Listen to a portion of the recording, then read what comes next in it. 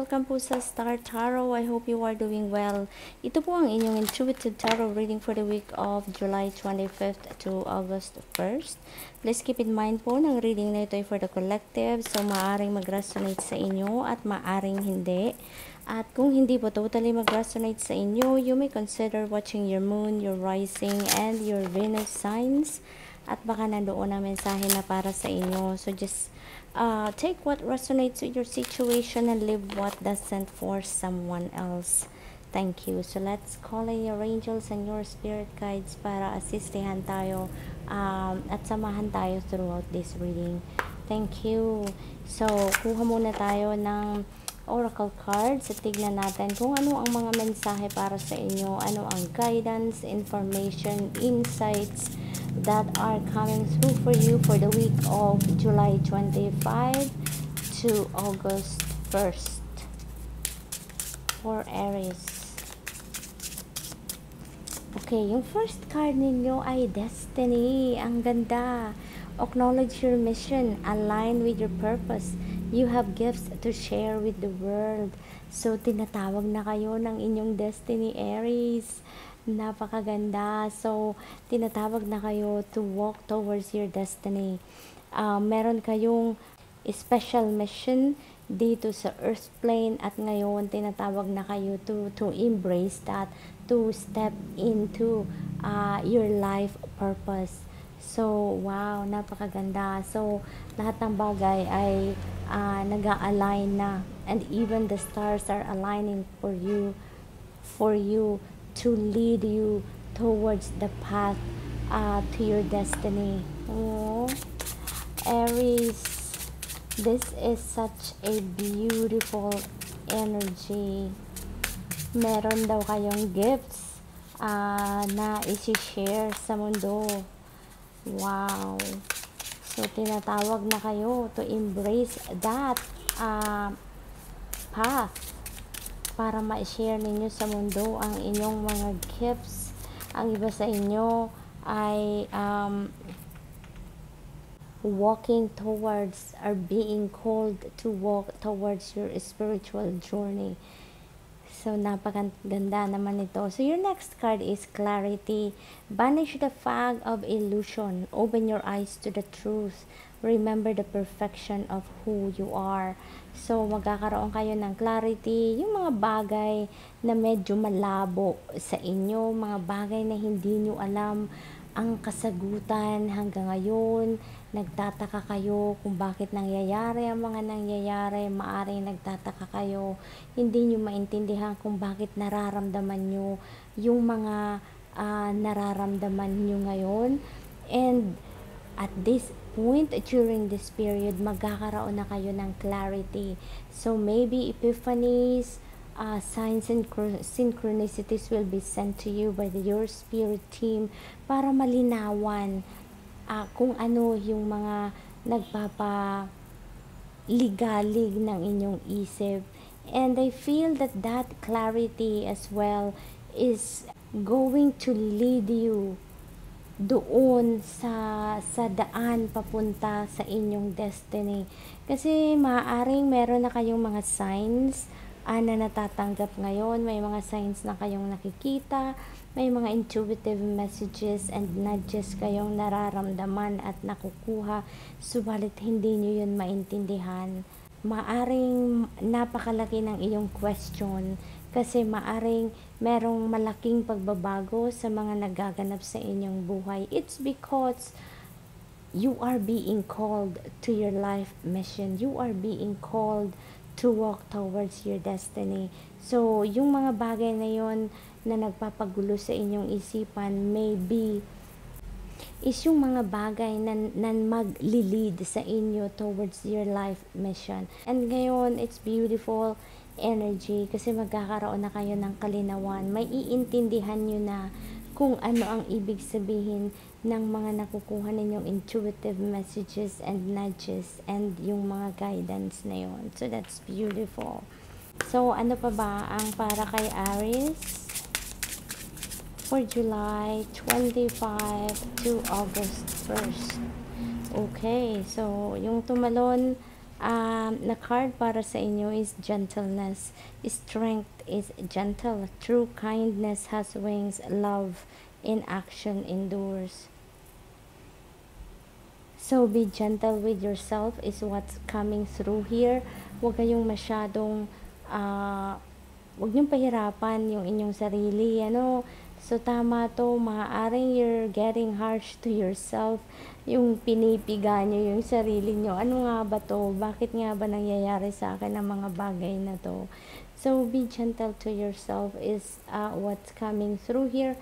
An important reminder for you na huwag nyo pilitin intindihin ang mga bagay na nahihirapan kayong intindihin. Instead, listen to your intuition. Lift up to the spirit team everything that you don't understand leave it to them because for sure they're gonna come and help you understand the things that you can't understand at this point. So, wag niyong pahirapan ang inyong sarili sa paghahanap ng kasagutan, sa pag, alam niyo yun, yung nagwo-worry kayo too much about the things na hindi niyo maintindihan sa inyong mga sarili ngayon.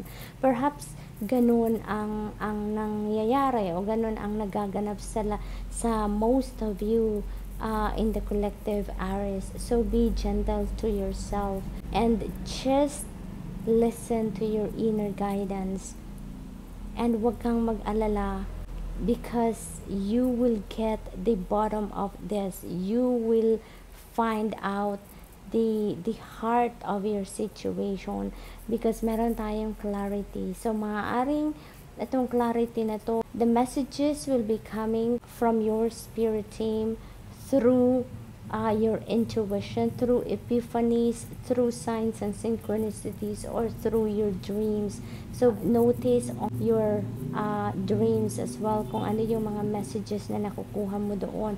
Or sometimes, you know, the spirit are using people to send the messages to to you so maaring may makakausap kang mga kaibigan kakilala mentors uh, or ibang tao like strangers could be strangers as well na mai-encounter mo na through your conversation with them. Doon mo maririnig ang ang mga kasagutan sa iyong mga katanungan. So for some of you that is what's going to to happen. Alrighty, so tignan natin ano pa ang para kay Aries sa July 25 to August 1st. Ang bilis ng panahon, no? August na, parang kailan lang. okay, so your next card is the Justice card. Wow! So, balance will be back in your life, Aries. Ang naririnig ko, you are going to be triumphant uh, in the week ahead. So, maaari nga iba sa inyo may pinaglalaban, yun ang malakas kong naririnig. Ang iba sa inyo maaring may pinaglalaban. And kung ano man yung pinaglalaban ninyo, pagtatagumpayan nyo yan, you are going to claim your victory here. And that is going also to bring uh, the equilibrium back in your life. Maaring may mga imbalances sa buhay ninyo in the recent past or recently. And now, through this victory, maibabalik mo ang ang balanse sa iyong buhay in in different areas of your life. So, merong ng peace and harmony, magkakaroon ng katahimikan, at babalik na sa iyo ang ang saya, babalik na sa iyo yung yung kalinawan sa pag-iisip, the clarity card here So everything will be back in order. Everything will be fine once again. So yeah, so that's what's uh, coming through here. So what else for Aries?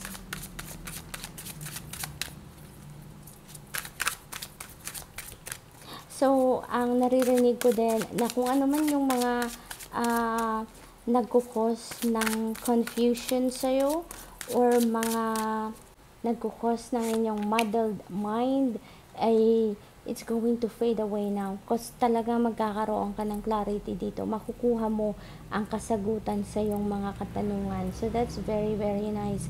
So your next card is the ten of cups. Wow! Happiness success this is also material success financial uh, success. Napakaganda. This is also domestic bliss. Uh, masayang pamilya, masayang uh, relationship between husband and wife, and yung mga kapartner ninyo sa buhay, ang mga relasyon ninyo sa inyong mga anak is going to be cool, it's going to be easy, it's going to be happy. So, simple lang. Talagang punong-puno ng peace and harmony and love uh, dito sa Ten of Cups sa inyong pamilya. So, totoo nga, balanse, ang balanse sa inyong buhay ay babalik na. So, ngayon, yung dinadala nitong peace and harmony is going to resonate sa lahat ng bahagi ng iyong buhay especially sa sa iyong pamilya, sa iyong kapamilya. So kung ano man yung mga hinihiling mo sa buhay, you gonna have it. Kasi 10 of cups na to eh. Ibig sabihin, dumaan ka na dun sa 9 of cups which is wish fulfillment. So, whatever you uh, wished for, uh, kuha mo na yon at this point. Kung ano yung gusto mo para sa sarili mo at sa iyong pamilya, sa iyong mga mahal sa buhay, meron ka na, nasa sayo na. Kaya, this is going to be a happy family. Be, this week is going to be full of happiness and contentment uh, para sa inyong Aries. That's beautiful. So, ano pa ba ang para kay Aries? July 25 to August 1st.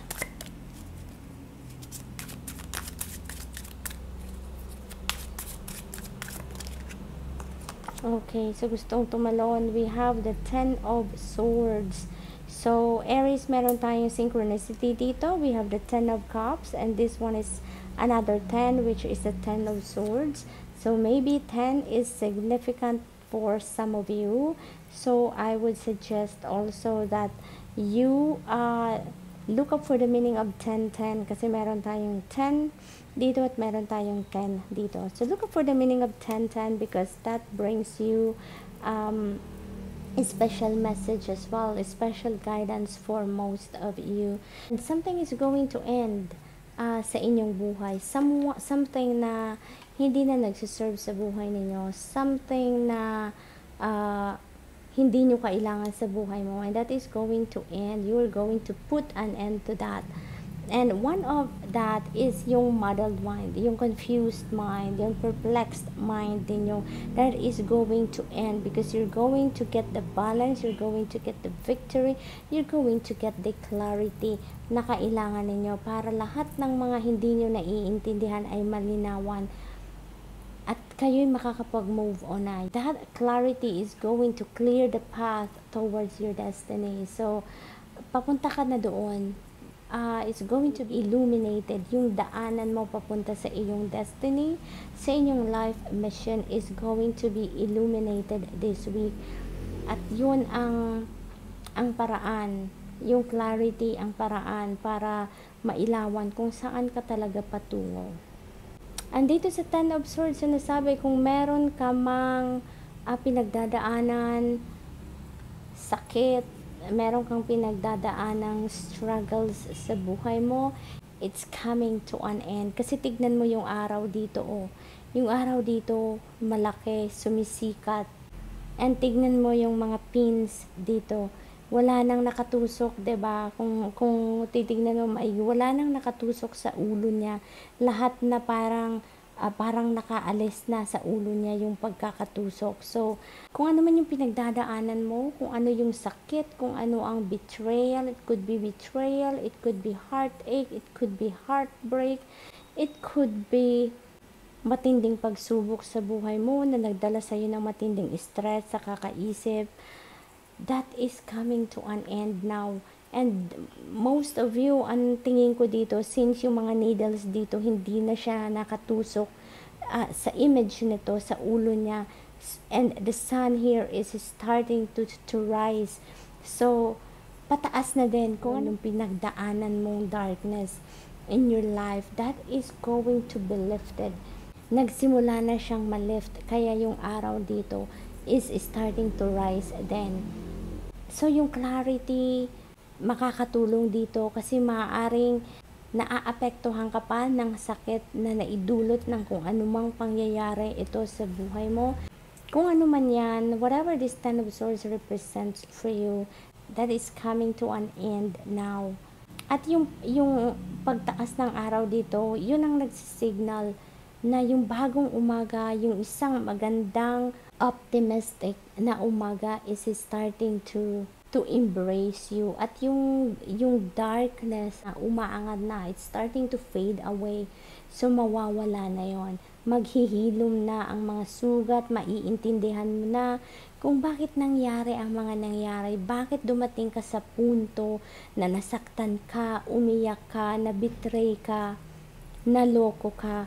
Maiintindihan mo ng lahat yan ngayon and I feel for some of you nagsisimula ka ng mag-heal.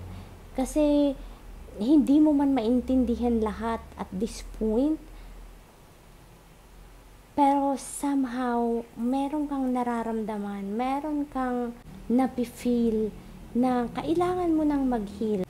You're not going to waste your time anymore to to be back down by whatever this Ten of Swords represents for you. You are going to release that already tutuldukan mo na kung ano man yung sakit uh, na naidulot nito sa iyo, you are not going to allow yourself to be hurt even more by holding on to that pain. Kaya nare-realize mo na ngayon na you are going to release that pain para makausad ka na, para makapunta ka na sa isang happy family, sa isang uh, masayang buhay. Gusto mo nang masaya na lang ulit. And you are going to release that pain. You are going to liberate yourself from that heartache from that emotional baggage. And that is beautiful. Kasi si si Ten of Cups nandito happiness. Happiness and joy ang dala niya. So yung energy niya yun yun ang ang babalot sa iyo in the week ahead and yayakapin mo na lang yung happiness sa buhay mo. You are going to choose to be happy and you're going to release the pain and the heartaches na naranasan mo uh, recently. So, that is really, really beautiful. So, ang reminder sa'yo, be gentle with yourself. Kaya yun din ang gagawin mo. That is the energy, that is the kind of energy na nayayakapin mo ngayong uh, darating na week. So that's beautiful, beautiful. So Aries, that's all I have for you for the week. I hope nakatulong ang reading na ito in some way. Please hit the subscribe button and the notification bell if you are new to my channel. And if you are already part of my Star Tarot family, thank you for supporting my channel. I wish you have a blessed and wonderful day. Love and light.